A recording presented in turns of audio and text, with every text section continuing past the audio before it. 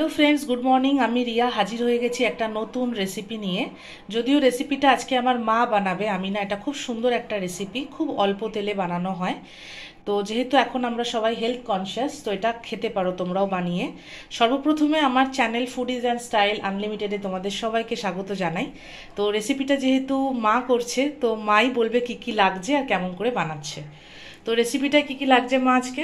আচ্ছা তিনশো গ্রাম ছোলা কচু হুম।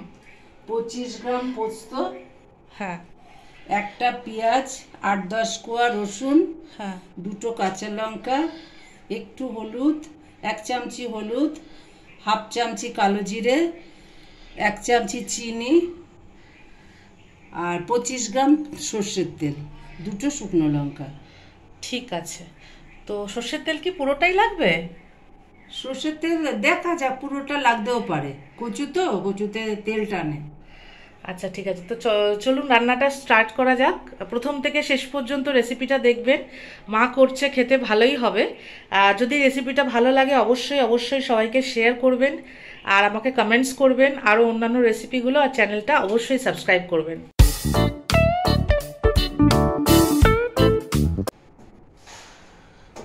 ফার্স্টে আমি গ্যাসটা ধরিয়ে নিলাম। ধরিয়ে কড়াইটা একটু গরম করে নিচ্ছি। এবারে কি দেবে? এইবারে সর্ষের তেল দিয়ে দেবো কড়াই কড়াইয়ের মধ্যে সর্ষের তেল দিলাম।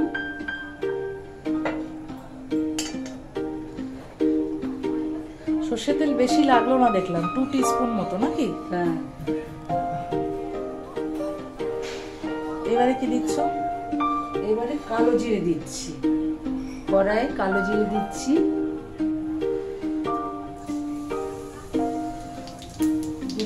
শুকনো লঙ্কা দিয়ে দিলাম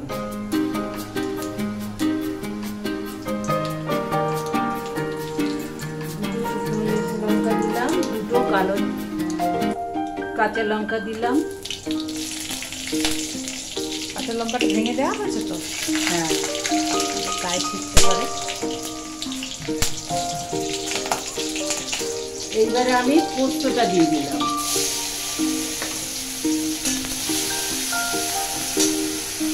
এবারে আমি কাঁচা পেঁয়াজটা আস্তে আস্তে ছেড়ে দিলাম পেঁয়াজ কুচিটা পেঁয়াজ আর রসুন তা দেখে মনে হচ্ছে খুবই মুখরোচক হবে টেস্টি হবে কারণ পোস্ত আমাদের বাঙালিদের খুবই প্রিয় একটা খাবার। পোস্ত ডাল এবারে ছোলা কচুগুলো আমি পোস্ত লঙ্কা রসুন কুচি পেঁয়াজ কুচির মধ্যে ছেড়ে দিলাম।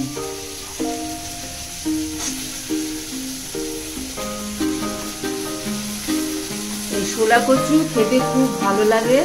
গলাও ধরে না, কিচ্ছু না কোনো লেবু টেবু লাগে না, কিচ্ছু না। হ্যাঁ খুব ভালো লাগে। একদিন মাছ, ডিম, মাংস, ওটা তো মুখে ভালো লাগে না, এগুলো মুখের স্বাদও আনে। এগুলো মুখের খুব স্বাদ আনে। এবার এটা আমি ভাজা ভাজা করব জল ছাড়া আর এই ছোলা কচু ছোলা কচু যেমন খেতে স্বাদ তেমনি সুগারের রোগীদের পক্ষে খুবই ভালো। কেননা আলু, তারপরে কাঁচকলা, কুমড়ো, এগুলোতে মিষ্টির পরিমাণ থাকে তো? ওই জন্য এগুলোতে সুগারটা বেশি হতে পারে। যতটা মাটির তলার জিনিস না খেয়ে পারা যায়। হ্যাঁ ওই ছোলা কচু হচ্ছে সুগারে খুব ভালো, আর চোখেরও দৃষ্টি বাড়ে। আপনারা খেয়ে দেখুন, এরকমভাবে রান্না করে হ্যাঁ আমি এর আগেও দুদিন করেছি, কিন্তু খেতে খুব টেস্ট এটা কষাতে থাকি, একটু নাড়াচাড়া করার পরেই কচুটা মোটামুটি হয়ে যাবে। তারপরে আমি সার্ভ করে দেখাচ্ছি আপনাদেরকে। কচু হচ্ছে মানে ব্লাডও পরিষ্কার করে, শুধু ছোলা কচু না, যে কোনো কচু ব্লাড পরিষ্কার করে। তাই জন্য অনেক বাড়িতে কচুটা প্রায় সময় হয়ে থাকে, এই ব্লাড পরিষ্কার করার জন্য। আমার রেডি হয়ে গেছে। দেখুন এটা এত সুন্দর রান্নাটা। হ্যাঁ আর আপনারা আমাকে আমার এই রেসিপি দেখে প্রচুর প্রচুর প্রচুর শেয়ার করবেন। আমার ভালো লাগবে। হ্যাঁ আচ্ছা। তো রান্নাটা তোমার হয়েই গেছে। আমার দেখে মনে হচ্ছে গরম ভাতের সাথে ঘি দিয়ে সত্যিই রান্নাটা ভালো লাগবে, যেমন বলেছে।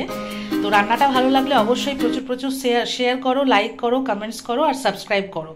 তো আমার যারা নতুন বন্ধুরা এখনও চ্যানেলটা সাবস্ক্রাইব করোনি আপকামিং ভিডিওসের জন্য অবশ্যই সাবস্ক্রাইব করে বেল আইকানে গিয়ে অলটা প্রেস করে দেবে, তাহলে পরে পরপর রেসিপিসগুলো চলে আসতে থাকবে।